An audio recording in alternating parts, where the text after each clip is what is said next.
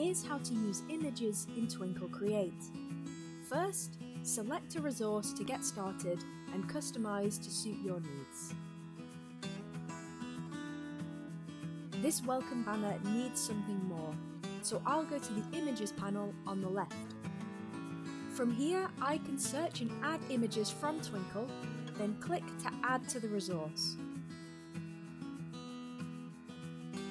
I can also filter for languages and black and white images. I don't just need to use Twinkl images, I can also search the web and upload my own. I just need to go to the top of the Images panel and select Web or My Images.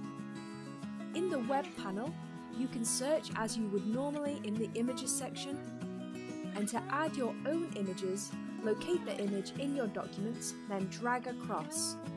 Click the image to add. And that's everything about images.